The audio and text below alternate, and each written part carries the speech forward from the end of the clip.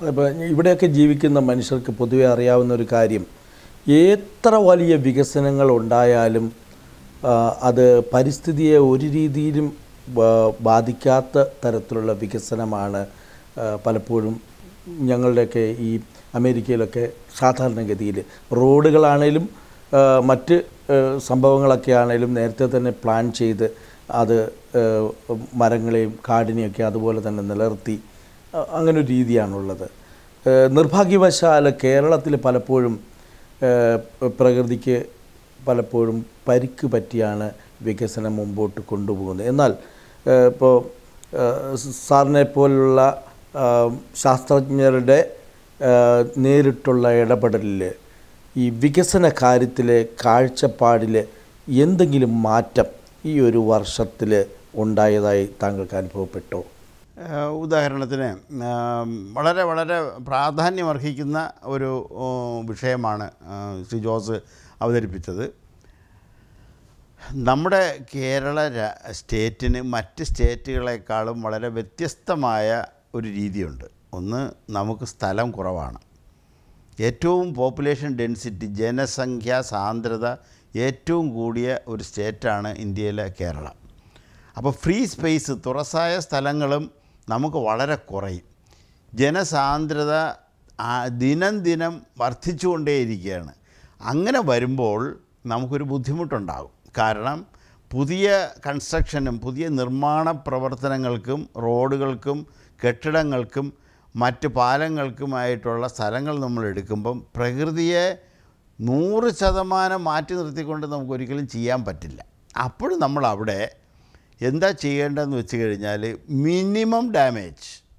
ഏറ്റവും കുറഞ്ഞ രീതിയിൽ പരിസ്ഥിതിയെ അഫക്റ്റ് ചെയ്യുന്ന രീതിയിലുള്ള ലൊക്കേഷൻസ് നമ്മൾ കണ്ടുപിടിക്കണം. ഇപ്പോൾ മുഖ്യമന്ത്രി ചാർജ് എടുത്ത കൂട്ടത്തിൽ തന്നെ രണ്ട് മൂന്ന് ഏറ്റവും പ്രധാനപ്പെട്ട കാര്യങ്ങൾ പറഞ്ഞു. ഒന്ന് ഇവിടുത്തെ റോഡുകൾക്ക് നാൽപ്പത്തഞ്ച് മീറ്റർ വീതി നാഷണൽ ഹൈവേക്ക് നാൽപ്പത്തഞ്ച് മീറ്റർ വീതിയിൽ കാസർഗോഡ് തൊട്ട് നമുക്ക് കളിക്കാവുള്ള വരെയുള്ള സ്ഥലത്ത് റോഡ് വികസിപ്പിക്കണം. അതിന് സ്ഥലമെടുത്തേ പറ്റൂ. അതിന് നമ്മൾ ഏതെങ്കിലും റോഡ് എടുക്കുന്ന സമയത്ത് പരിസ്ഥിതിക്ക് ഹാനം തട്ടെന്ന് പറഞ്ഞിട്ട് കാര്യമല്ല. കാരണം ഒരു രാജ്യത്തിന്റെ അടിസ്ഥാന വികസനം എക്കണോമിക് ഗ്രോത്ത് എന്ന് പറയുന്നത് അവിടുത്തെ ട്രാൻസ്പോർട്ടേഷൻ സിസ്റ്റമാണ് ഗതാഗത സൗകര്യമാണ്.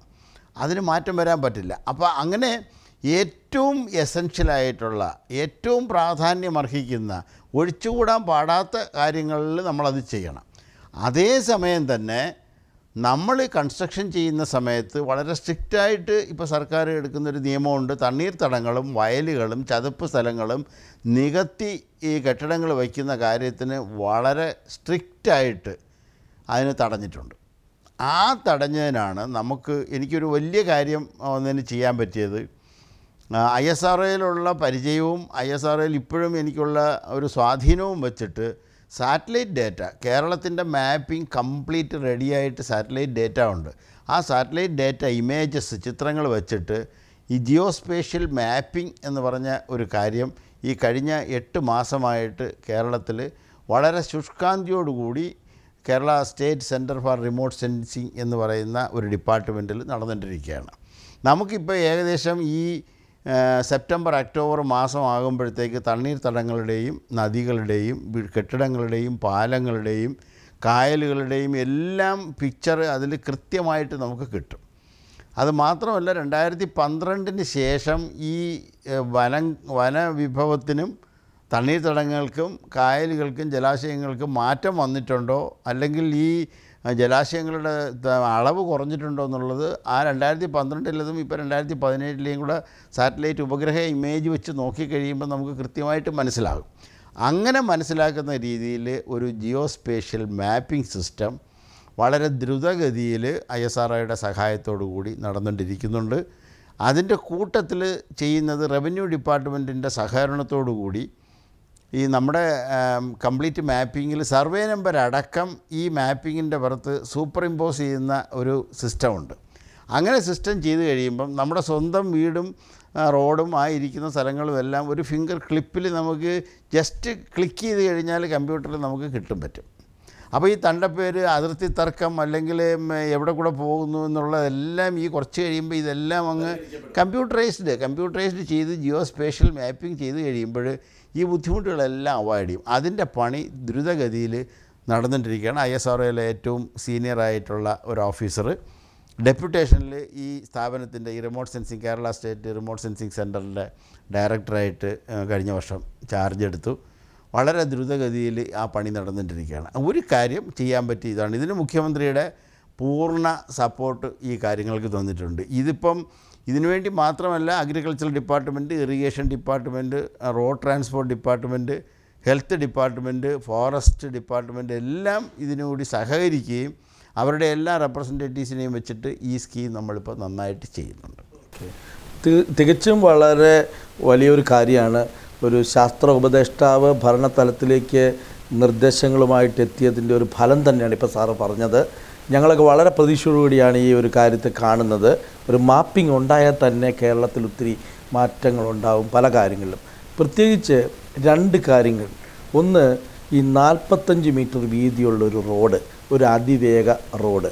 ആ റോഡ് കാസർഗോഡ് മുതൽ തിരുവനന്തപുരം വരെ വരുമ്പോൾ ഉണ്ടാകാവുന്ന ഒരു വലിയ നേട്ടം എന്നാൽ ആ നേട്ടത്തിന്റെ അകത്ത് വരുന്ന തടസ്സങ്ങൾ അത് വിവിധ ഡിപ്പാർട്ട്മെന്റുകളെ ഏകോപിപ്പിക്കാനുള്ള ഇതിന് മുമ്പുള്ള തടസ്സങ്ങൾ. ആ തടസ്സങ്ങളുടെയൊക്കെ കാര്യത്തിൽ പുതിയ മന്ത്രിസഭയ്ക്ക് എന്ത് ചെയ്യാൻ പറ്റിയിട്ടുണ്ട്? ഇപ്പോൾ സാറ് പറഞ്ഞു നാൽപ്പത്തഞ്ച് മീറ്റർ വീതി ഉള്ള റോഡ് കേരളത്തിന് ഏതെല്ലാം പ്രകൃതിയുടെ ചില ദോഷങ്ങളുണ്ടായാലും മിനിമം ഡാമേജിലൂടെ അത് പരിഹരിക്കണം എന്നിട്ടാണെങ്കിലും ആ റോഡ് ഉണ്ടാകേണ്ടിയിരിക്കുന്നു എന്നൊരു നിശ്ചയദാർഢ്യം ഗവൺമെന്റിനുണ്ടോ അത് നടപ്പാവുന്ന സാർ പ്രതീക്ഷിക്കുന്നുണ്ടോ? എനിക്ക് പൂർണ വിശ്വാസമുണ്ട്. പ്രത്യേകിച്ചും മാധ്യമത്തിൽ കൂടി നിങ്ങൾ വായിച്ചു കാണും.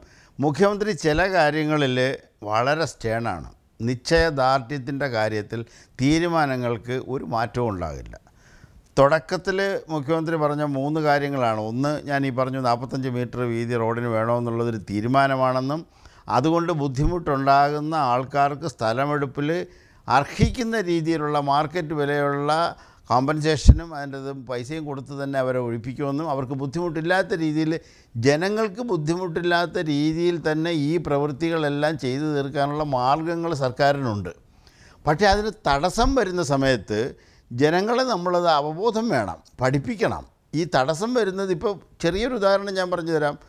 ഞാൻ ബേസിക്കലി ഒരു കെമിക്കൽ എഞ്ചിനീയറാണ് പെട്രോളിങ് റിഫൈനിങ്ങിന്റെ സ്പെഷ്യലിസ്റ്റ് പഠിച്ച ആണ് എഞ്ചിനീയറിങ്ങിന് ആ കൊച്ചിൻ ടെർമിനലിന്റെ അവിടെ ഈ എൽ പി ജി ഗ്യാസിന്റെ ടെർമിനൽ ഉണ്ടാക്കുന്നതിന് ജനങ്ങളുണ്ടാക്കുന്ന അത് തികച്ചും അശാസ്ത്രീയമാണ്. യാതൊരു കാരണവശാലും അവിടെയുള്ള താമസിക്കുന്ന അടുത്ത് താമസിക്കുന്ന ജനങ്ങൾക്ക് ഒരു ബുദ്ധിമുട്ടും ഒരു അപകടവും വരാത്ത രീതിയിൽ വേൾഡ് ക്ലാസ്സിൽ ലോക നിലവാരത്തിലുള്ള എല്ലാ സുരക്ഷാ സംവിധാനങ്ങളും ചേർത്തിട്ടുള്ള ഒരു പ്ലാന്റാണ് ഐ ഒ സി ഡിസൈൻ ചെയ്ത് വച്ചിരിക്കുന്നത്. അത് ഏതോ തരത്തിലുള്ള തെറ്റിദ്ധാരണ ജനങ്ങളിൽ ഇളക്കി വിട്ട് കഴിഞ്ഞിട്ടാണ് ഈ സമരവും ലാത്തി ചാർജും ഇതെല്ലാം അവിടെ ഉണ്ടായിരിക്കുന്നത്. പക്ഷേ അതിന് അവർ വന്ന് അവരുടെ ആൾക്കാർ വന്ന് മുഖ്യമന്ത്രിയുടെ ചേംബറിൽ വന്ന് സംസാരിച്ചു. മുഖ്യമന്ത്രി അവരുടെ എല്ലാ ഭീതികളും ഇനി അഡീഷണലായിട്ട് സംരക്ഷിക്കത്തക്ക രീതിയിൽ സുരക്ഷാ സംവിധാനം എത്ര വരെ ഉയർത്താനും അദ്ദേഹം തയ്യാറാണ്.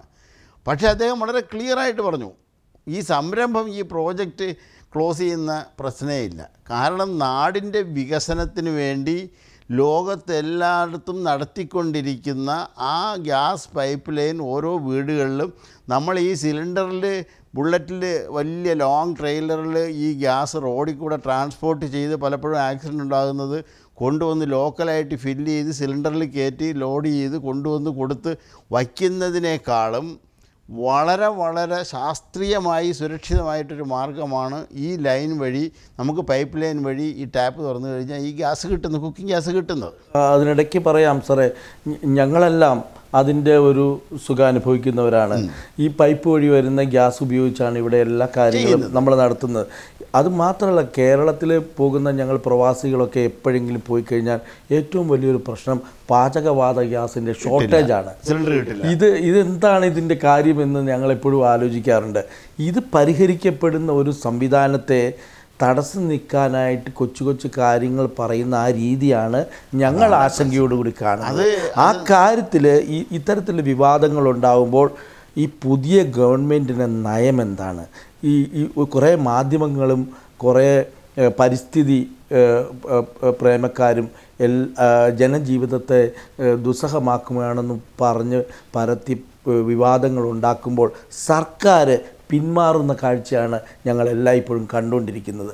അതിൽ നിന്ന് എന്ത് മാറ്റമാണ് ഇപ്പോൾ ഉണ്ടായിട്ടുള്ളത്? അല്ല അത് സർക്കാർ ഈ സർക്കാരിന്റെ കാര്യം കൃത്യമായിട്ട് ഞാൻ പറയും. ഈ സർക്കാരിന്റെ കാര്യത്തിൽ അതിനൊരു പിന്മാറ്റം ഉണ്ടാകില്ല. ചില കാര്യങ്ങൾ തീരുമാനിച്ച കാര്യങ്ങൾ സ്ട്രിക്റ്റായിട്ടും നിശ്ചയത്തോടുകൂടി ചെയ്തിരിക്കും. അതിലൊന്നാണ് ഈ ആശ്രമങ്ങളുടെ കാര്യം. മുഖ്യമന്ത്രി തന്നെ നേരിട്ട് പറഞ്ഞിട്ടുണ്ട്. ഇതുപോലെ തന്നെ ഉള്ള മറ്റു കാര്യങ്ങളുണ്ട്. ഉദാഹരണം മാലിന്യ നിർമ്മാർജനം. മാലിന്യ നിർമ്മാർജനത്തിന് ലോകത്ത് ഇഷ്ടം പോലെ ടെക്നോളജി ശാസ്ത്ര സാങ്കേതിക വിദ്യ എന്തുമാത്രം വികസിച്ചിട്ട് ആ തദ്ദേശ സ്വയംഭരണ വകുപ്പ് മന്ത്രി ജലീൽ സാറ് എന്നെയാണ് അത് കംപ്ലീറ്റ് ഏൽപ്പിച്ചിരിക്കുന്നത്. അതായത് ആ ടെക്നോളജി ഉപയോഗിക്കുന്ന സാങ്കേതിക വിദ്യ നല്ല സാങ്കേതിക വിദ്യയാണോ പരിസ്ഥിതിക്ക് ഹാനം ഉണ്ടാകുമോ നമുക്ക് വളരെ നന്നായിട്ട് ചെയ്യാമോ എന്നുള്ള ഇഷ്ടം പോലെ ആൾക്കാർ പ്രത്യേകിച്ചും പ്രവാസി മലയാളികൾ ഗൾഫിൽ നിന്നും യു കെ നിന്നും മലേഷ്യ സിംഗപ്പൂർ ഇറ്റലിയിൽ നിന്ന് ഇന്നലെ ഒരാൾ വിളിച്ചിരുന്നു. ഇറ്റലിയിലൊരാൾ കോഴിക്കോടുള്ള ഒരാൾ കമാൽ വിളിച്ചിട്ടുണ്ടായിരുന്നു. മന്ത്രി പറഞ്ഞു കഴിഞ്ഞതിന് ശേഷം. ഇവരെല്ലാവരും ഇൻവെസ്റ്റ് ചെയ്ത് മാലിന്യ സംസ്കരണ ഖരമാലിന്യ സംസ്കരണം നടത്താനായിട്ട് തയ്യാറായിട്ട് ക്യൂ ആയിട്ട് ആൾക്കാർ നിന്നുകൊണ്ട് ഇൻവെസ്റ്റ് ചെയ്തിട്ട്. എല്ലാ മുത മുടക്ക് മുതലുകളും അവർ ചെയ്തിട്ട് ഗവൺമെന്റ് സ്ഥലവും അതിനുള്ള സൗകര്യവും ഈ വേസ്റ്റ് കളക്ട് ചെയ്യാനുള്ള അനുമതിയും നോമിനലായിട്ട് അതിന് വരുന്ന ചിലവും മാത്രം കൊടുത്താൽ മതി. പക്ഷേ ഇവിടെ ജനങ്ങളിപ്പോൾ എവിടെയും തുടങ്ങാൻ സമ്മതിക്കില്ല. അതെന്താണെന്ന് വെച്ചാൽ ട്രിവാൻഡ്രത്ത് വിളപ്പിശാല എന്നുള്ള ഒരു സ്ഥലത്ത് അവിടെ ഒരു മാലിന്യ സംസ്കരണ പ്ലാന്റ് തുടങ്ങിക്കഴിഞ്ഞതിന് ശേഷം കോർപ്പറേഷനും കഴിഞ്ഞ സർക്കാരിന്റെ കാലത്ത് കോർപ്പറേഷനും ഗവൺമെന്റും തമ്മിലുള്ള ആ ഒരു സഹകരണ മനസ്ഥിതി ഇല്ലാത്തത് കാരണം അത് ഫെയിലായി. ഫെയിലായി കഴിഞ്ഞപ്പോൾ മാലിന്യം അവിടെ കെട്ടിക്കിടന്ന് അഴുകി നാറി ആ പരിസരവാദികൾക്ക് ജീവിക്കാൻ പറ്റാണ്ടായി. ആ ഒരു അനുഭവം ഒരു മോശപ്പെട്ട അനുഭവം കാരണമാണ് ജനങ്ങൾക്ക് ഇതിലൊരു ഭീതി. അതായത് മാലിന്യ സംസ്കരണ കേന്ദ്രം നമ്മുടെ നാലേലത്തും വരാൻ പാടില്ല. അത് ശരിയല്ല. നമ്മൾ ഫസ്റ്റ് ഓഫ് ഓൾ കേരളത്തിലുള്ള ആൾക്കാർക്ക് വിദ്യാഭ്യാസം കൂടുതലാണ് വിവരം കൂടുതലാണ് ചിന്താശക്തി കൂടുതലാണ്. പക്ഷേ ആ ചിന്താശക്തി കൂടുതലായതുകൊണ്ട് ഓരോരുത്തരുടെ ആ അപ്രോച്ച് ശരിയല്ല. അമേരിക്കൻ ഫോക്കസിന്റെ ഈ എപ്പിസോഡ് ഇവിടെ അവസാനിക്കുകയാണ്. അടുത്ത ആഴ്ച ഇതേ സമയം ഇതിന്റെ അടുത്ത ഭാഗം നിങ്ങൾക്ക് കാണാവുന്നതാണ്. കാണുക